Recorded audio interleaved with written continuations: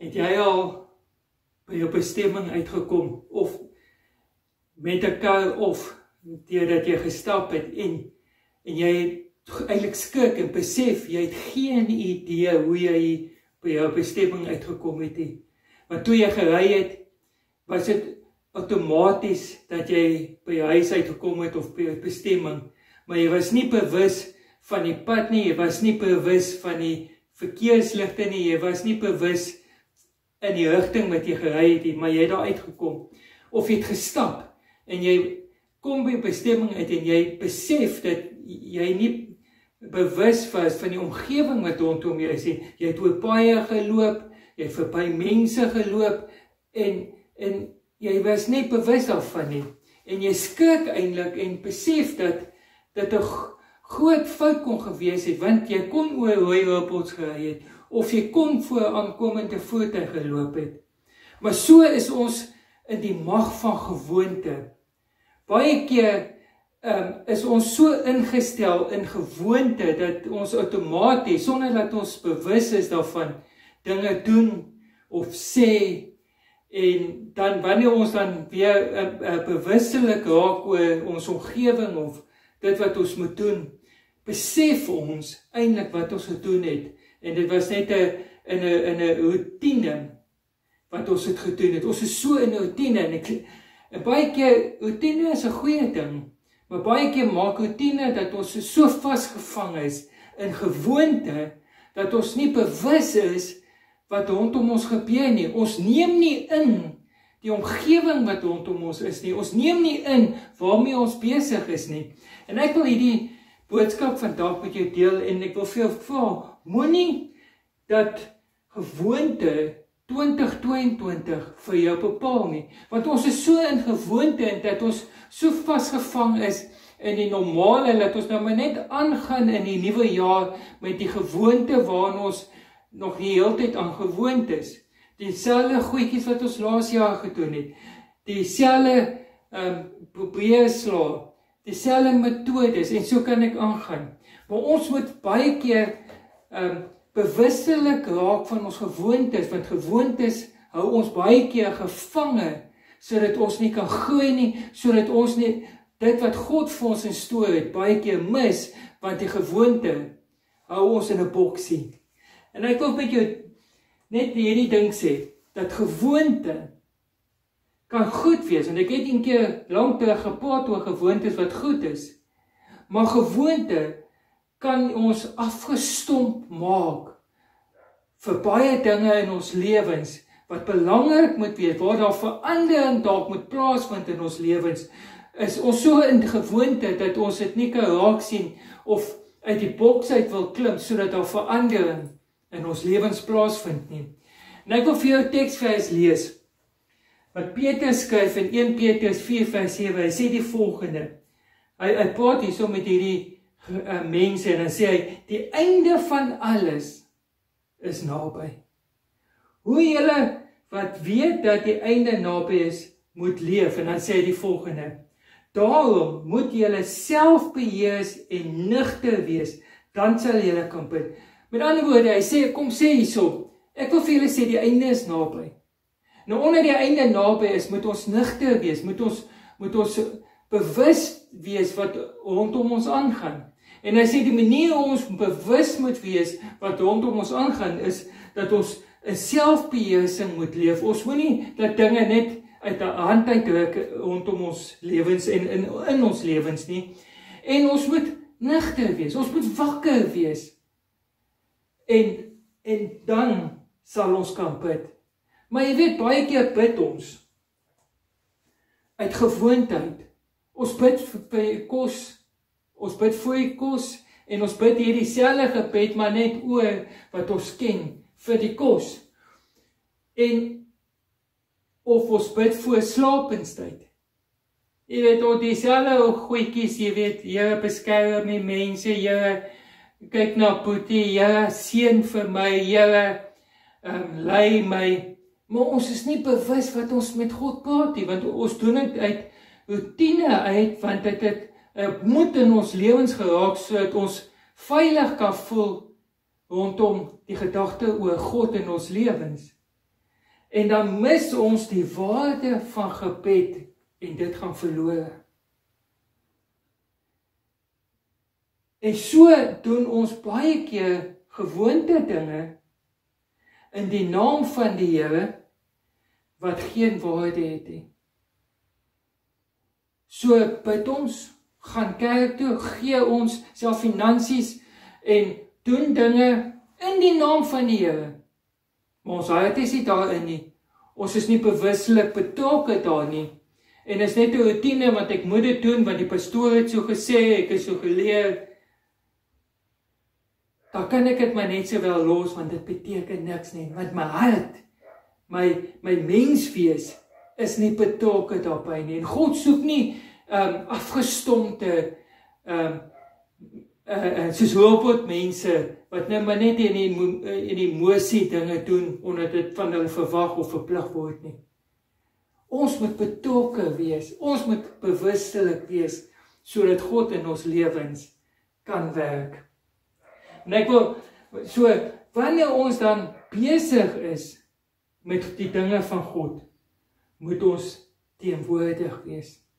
Dit is baie belangrik. Ons moet teenwoordig wees wanneer ons besig is met God. Hoor wat sê Habakuk 2 vers 1 sê: Ek gaan in my uitkyktoring staan, my plek inneem op my wagpos in die muur. Ek wag om te sien wat die Here vir my gaan sê, wat sy antwoord op my klagte sal wees. Ons moet dus bewustelik aanwesig wees in die teenwoordigheid van die Here. Soos byvoorbeeld wanneer ons bid. En hierdie teenwoordigheid wanneer ons wag op die Here.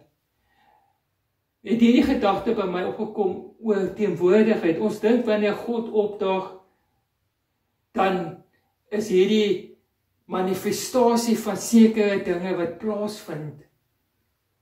Soos wat byvoorbeeld ons ervaar het in die kerk. Maar dis nie hier wat ek, ek, ek dink nie dis hier dit wat hy hier bedoel nie. Hy bedoel hierso wanneer ons bid, wanneer ons besig is met die saak van die Here, is God teenwoordig. Wat byvoorbeeld wanneer ek bid, hoor God ons gebed. Dis is God betrokke, is hy daar.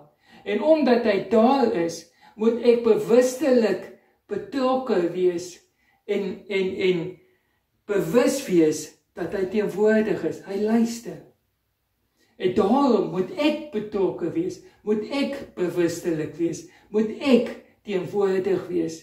Ek kan nie terwyl ek bid aan ander dinge dink of bid omdat ek 'n rympie is wat ek moet doen nie. Ek moet bedoel wat ek sê. Ek moet ek moet eg wees wanneer ek doen.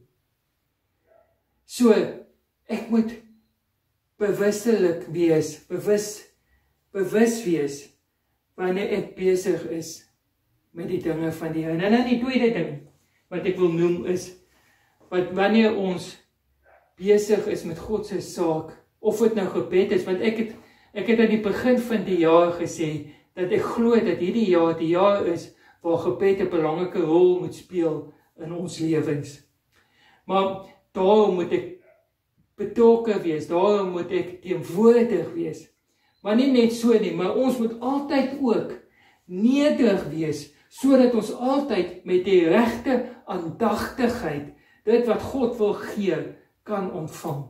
Baie keer mis ons dit wat God vir ons wil gee omdat ons nie teenwoordig is nie. Jakobus 4 vers 6 en 7 sê die volgende: God is egter besig om ons steeds meer genade te gee om aan hom getrou te wees. Daarom sê die skrif: God weerstaan die hoogmoediges, hoogmoedige mense, maar aan nederige mense gee hy genade. Wys dus dat jy van God afhanklik is deur na hom te luister. Weerstaan die duiwel en hy sal van julle wegvlug. Ons gebruik baie keer hierdie teksvers En dan haal ons net die laaste gedeelte in om te sê, "Wie staan die duiwel en hy sal van jou wegvlug." Maar ons mis baie keer die vooraf. En dit is om nederig te wees. Wanneer ek nederig is, en ek is afhanklik van God, raak ek bewustelik van God se grootheid in my lewe, raak ek bewustelik van my afhanklikheid van hom. En wanneer ek dan daar is, kan God kom en hy kan genade gee.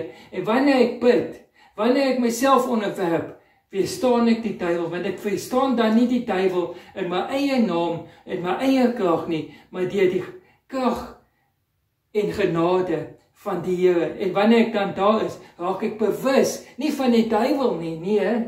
Ja, jy jy jy, jy neem kennis van hom, maar jy raak bewus van God want God raak dan groter in jou lewe. Jy raak bewus van sy krag in jou lewe. Jy raak bewus van sy manifestasie in in jou omgewing, in jou omstandighede. En dis moet ons altyd nederig wees, maar partykeer moet ons oppas. Party mense is so nederig dat hulle hoogmoedig is. Hulle hulle pronk in hulle nederigheid. Nederigheid beteken ek gee alles oor en en sê Here, laat U beheer neem want ek is nie in staat nie. Laat U beheer neem want ek is nie nie die een wat alles het nie. Ek is nie die een wat gemaak het nie. Ek is nie die een wat myself kan verhoog nie want ek is maar net 'n geskaapene. Maar ek het U nodig om my te lei. Ek het U nodig om vir my die rigting te gee. Dis wil ek vir jou aanmoedig. As ek 'n jaar wil maak wat saak maak, moet ek 'n nederigheid en aan aanwesig myself koppel aan Jesus Christus. Wanneer ek dan dit doen, kan God my stuur in hierdie jaar. Kan God my gebruik in hierdie jaar. Mag die Here jou ryklik seën. Kom ons bid saam. Here, help ons om geduldig bewustelik betrokke te wees in u saak.